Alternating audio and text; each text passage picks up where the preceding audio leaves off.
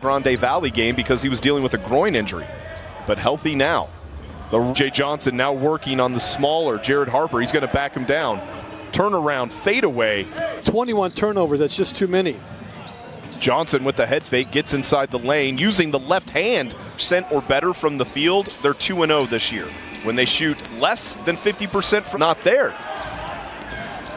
And quickly back the other way of their season opening game against Agua Caliente. The Suns had a 10 point lead in that game, still within striking distance.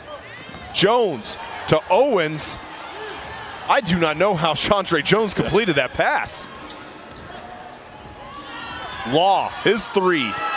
Check that. That was BJ Johnson. Roll, throws it away. And Lakeland's going to have an easy buck. Now have extended their lead back to 11. It's the full two points. Gravett to BJ Johnson. He's starting to heat up. And